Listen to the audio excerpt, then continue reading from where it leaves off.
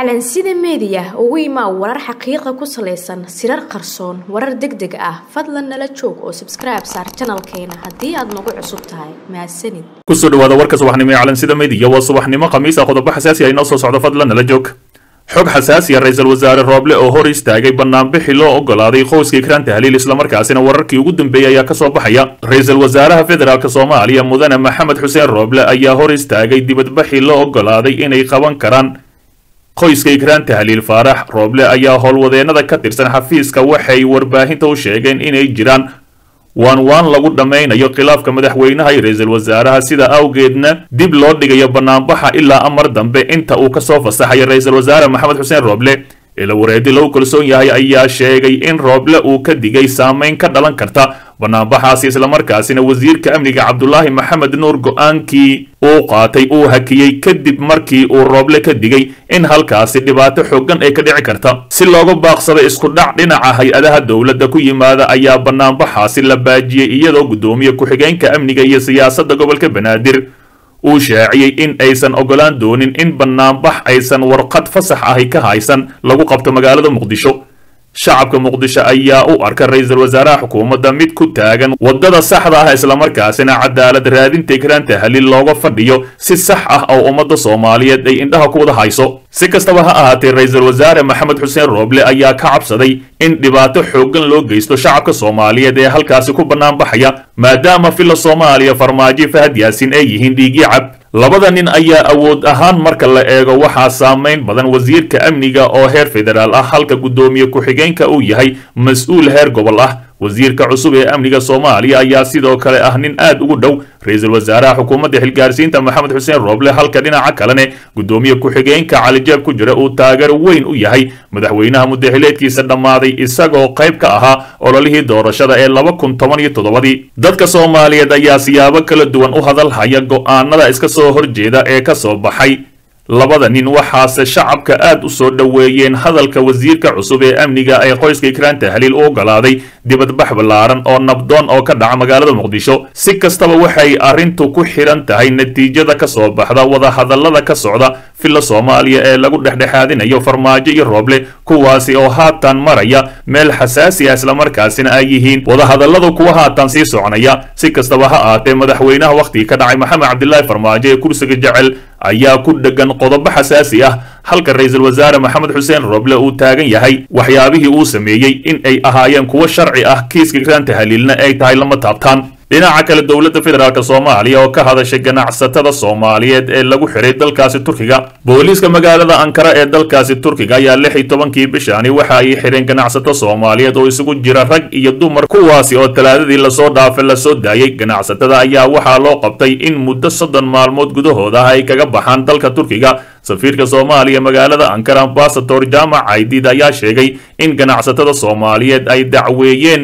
dadka xaafadda ay ku ganacsanayeen balse dadaal fara badan ay sameeyeen ku soo daayeen. Safiirka oo la hadlaya v o eda waxa uu sheegay in sababaha dadkan loo xiray ay ahayd in ay dalkaasi ku tageen fiisooyin dalxiis ahi iyo kuwa ardaynimo. Islamarkaasina dalka turkiga aan laga ogolayn ugu dambayntii safiirka waxa uu sheegay in guddiga ganacsatada soomaaliyeed ay u sheegeen in dadka la xirxiray dhowr jeer loo keenay digniino kala duwan lagana dalbaday inay sharciga waddanka ku joogaan ka dhigtaan mid shaqo balse ay ku adkaatay. Wararka ay warbaahinta helayso ayaa waxa ay sheegayaan in tirada soomaalida ganacsatada ahi ee la xirxiray ay gaarayaan ilaa sagaal qofood oo isugu jira rag iyo dumar si kastaba ha ahaatee soomaalida halkaasi ku sii qulqulaysa ayaa laga yaabaa in gebi ahaanba qaarkood la soo celiyo maadaama qaarkood sharci darre ay ku joogaan mararka qaarna dhibaato xooggan ay u geysadaan dadka halkaasi ku dhaqan. Fadlan dib u daaw wararkeenii hore ee calansida meediya xog xasaasi a ciidamo ka amar qaata fahad yaasiin iyo farmaajo ee lagu magacaabo duufaan oo gebi ahaanba isku gadaamay xarumaha nisa. Wararkii ugu dambeeyay ayaa ka soo baxaya ciidamo ka tirsan nisa gaar ahaan duufaan oo wata gaadiidka dagaalka ayaa la soo buux dhaafiyey agagaarka godka jilacow ee magaalada muqdisho. Ilaa dhanka taalada daljirka daason ayay xirteen islamarkaasina isku socodka gaadiidka ayay gebi ahaanba diideen. Lama oga sababta ciidankaasi loo keena waxaase jira khilaaf xooggan oo dhanka nisa ka taagan maadaama ra'iisul wasaare maxamed xuseen rooble uu magacaabo bashiir goobe hase ahaatee filla soomaaliya ayaa gebi ahaanba diiday sidoo kale waxaa gebi ahaanba la xiray isgoyska kilomitir afar islamarkaasina dadka gaadiidka ayaa gebi ahaanba loo diiday lama oga sababta wararkii ugu dambeeyey ayaa ka soo baxaya ra'iisul wasaare maxamed xuseen roble ayaa gebi ahaanba diidan in wax dagaal ay ka dhaca magaalada muqdisho hase ahaatee. Tiimka farmaajo iyo faad yaasin ayaa gebi ahaanba ogol in halkaasi lagu dagaalamo islamarkaasina lagu kala baxo ninka lagu magacaabo yaasiin ferey oo sida sharci darrada ah ku magacaabay madaxweynaha wakhti ka dhacay maxamed cabdilaahi farmaajo. Dhagarqaba fahad yaasiin iyo yaasiin ferey ayaa gebi ahaanba amray in la weeraro ciidamada ka haray ee waran ee ku sugan gudaha nisa kana amar qaata. Ra'iisul wasaare maxamed xuseen rooble maalmihii la soo dhaafay ayay ahayd markii bashiir goobe gebi ahaanba gunnadii uu ka jaray ciidamada taageersan fahad yaasiin hase ahaatee yaasiin ferey ayaa iminka waxa uu sheegay in gebi ahaanba ciidamada xoog loogala wareego ee daabacsan. Ra'iisul wasaare maxamed xuseen rooble hase ahaatee nabadoon maxamed xuseen rooble ayaa gebi ahaanba diidan in halkaasi wax dagaal ay ka dhacaan shacabkana loo diirnaxo. Laakiin farmaajo iyo fahad yaasiin sidoo kale yaasiin ferey iyo jiis mareexaan ayaa gebi ahaanba go'aansaday in gudaha xarunta nisa ay dagaal xooggan kula wareegaan. Wixii ware ee ku soo kordha dib kala soco calansida meediya dhinaca kale wararkii ugu dambeeyey qaraxii maanta ka dhacay marka iyo khasaare ayaa la soo warinaya wararka naga soo gaaraya gobolka shabeellada hoose ayaa sheegaya in maanta qarax xooggan uu ka dhacay bartamaha magaalada marka ee xarunta gobolkaasi qaraxa oo ahaa miina ayaa waxaa lagu soo warramayaa inuu ka dhacay garaashka cawaale ee ku yaalla agagaarka saldhigga booliiska ee degmada marka ilo dadka deegaanka ahay ayaa sheegay in qaraxa kadib ay rasaas fureen ciidamada ammaanka oo goobta gaaray kuwaasi oo bilaabay baaritaan xooggan islamarkaasina raadinaya dadkii ka dambeeyey. Wararka ayaa intaasi ku sii daraya in qaraxa uu geystay khasaare isugu jira dhimasho iyo dhaawac balse waxaa weli socda baaritaano arrintaasi lagu wada iyo ninkii halkaasi qaraxa gelinayay oo halkaasi ku geeriyooday islamarkaasina la baaraya dadkii gacansaarka ula lahaa sida ay xaqiijiyeen ila wareedi lagu kalsoon yahay waxaa qaraxani ku dhintay marxuum lagu magacaabi jiray saciid jalbow iyo sidoo kale ninkii diyaarinayay miinada qaraxaasi. Xaaladda ayaa aad u kacsaneed saacado kadib waxaana halkaasi xirmay gebi ahaanba dhaqaaqyada dadka iyo gaadiidka. Ninka qaraxa aasayay ee ku dhintay ayaa la sheegay in markii hore ururka al-shabaab uu ka soo baxay islamarkaasina uu dowladda isku dhiibay. Laakiin markii dambena la tashkiiliyey islamarkaasina asiga oo doonaya in shacabka soomaaliyeed xasuuqa ayay gebi ahaanba asigii ku qaraxday wuxuuna noqday qofkii ugu horreeyey ee ku geeriyooda qaraxaasi. Dhinaca kale madaxweynaha mudaxileedkiisa dhammaaday maxamed cabdilaahi farmaajo ayaa sameeyey ballanqaad cusub oo la xidhiidha in doorashada dalka ka dhacaysa ay noqon doonto mid xor iyo xalaal ah asigoona u faanay qaramada midoobay khudbadda u jeediyey. Farmaajo oo khudbad ka jeediyey meertada toddobaatan iyo lixaad ee golaha guud ee qaramada midoobay ayaa soo bandhigay qorshaha ka hirgalay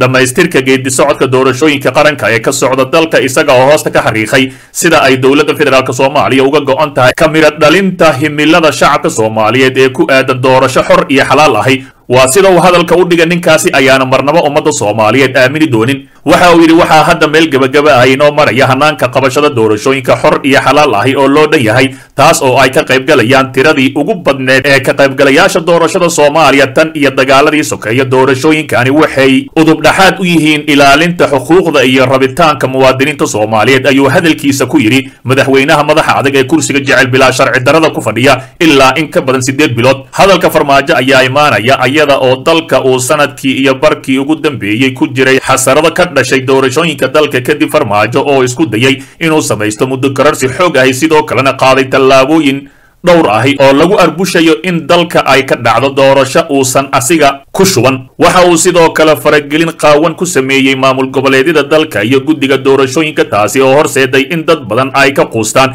in dalka ay doorasho ka dhacdo. Inta uu madaxweynaha wakhtiga ka dhacay maxamed cabdilaahi farmaajo villa soomaaliya ku dhex jiro. Hadalka madaxweynaha ayaa sidoo kale ku soo beegmaya xilli muddooyinkii u dambeeyey uu khilaaf u dhexeeyey. Isaga iyo ra'iisul wasaare maxamed xuseen rooble iyada oo dad badani ay u arkaan in khilaafkaani wakhti kale dib u sii dhigi kara hanaanka doorashada